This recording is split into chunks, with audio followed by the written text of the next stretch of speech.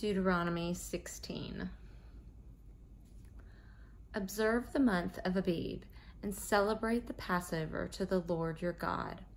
For in the month of Abib, the Lord your God brought you out of Egypt by night.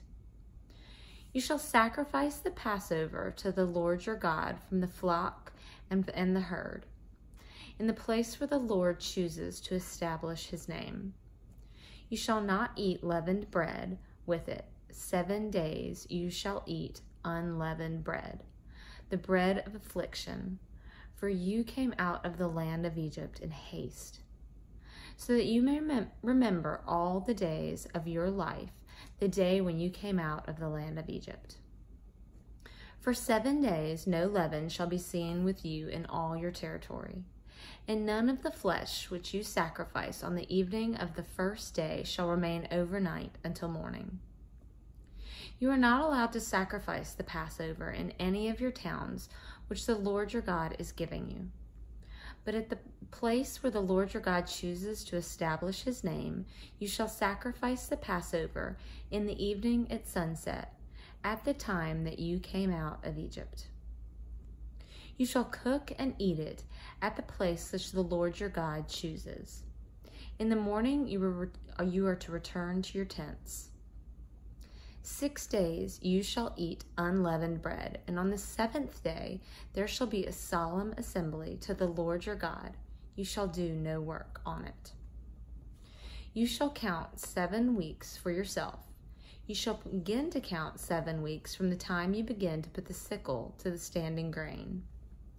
Then you shall celebrate the Feast of Weeks to the Lord your God with a tribute of a freewill offering of your hand, which you shall give just as the Lord your God blesses you.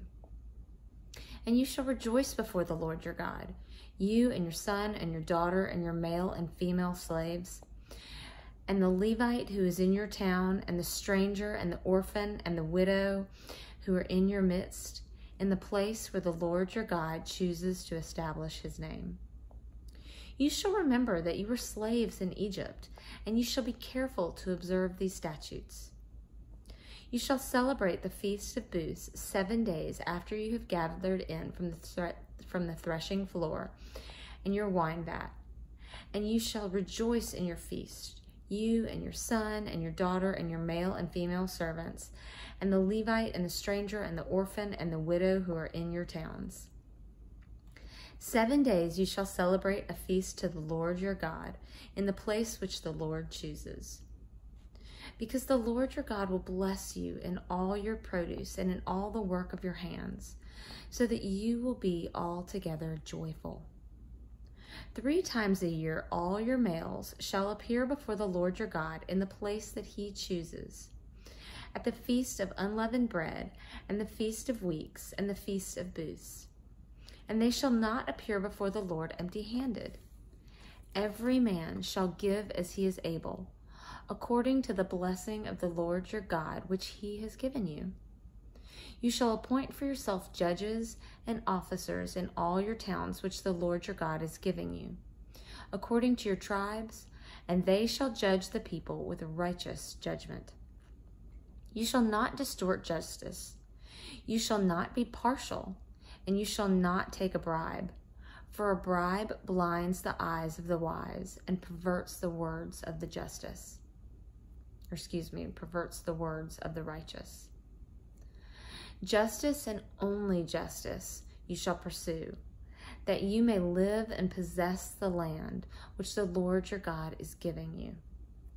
You shall not plant for yourself an Asherah of any kind of, of any kind of tree besides the altar of the Lord your God, which you shall make for yourself.